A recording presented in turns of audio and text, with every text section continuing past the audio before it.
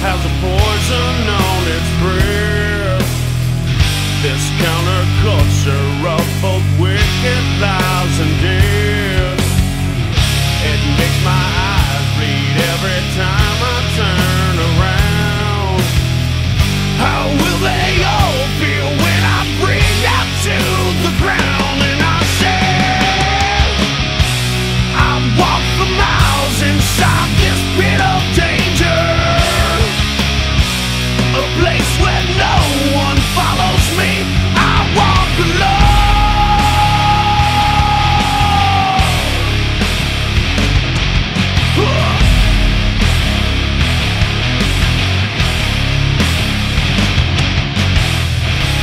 sick of all these people talking out their ears.